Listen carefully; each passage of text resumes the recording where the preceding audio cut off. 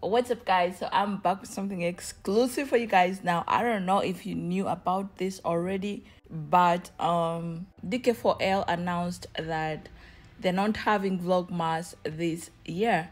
And um it's all because of ken. So basically ken was called cheating as you guys saw. Um because of that um ken said he was being away from you know the media and all that.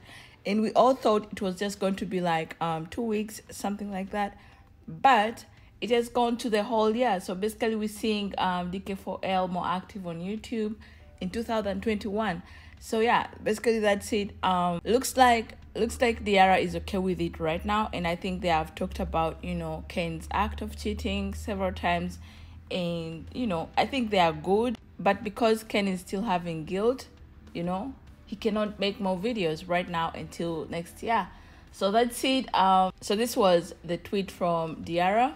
And um the one you see in black was Ken's you know Instagram story.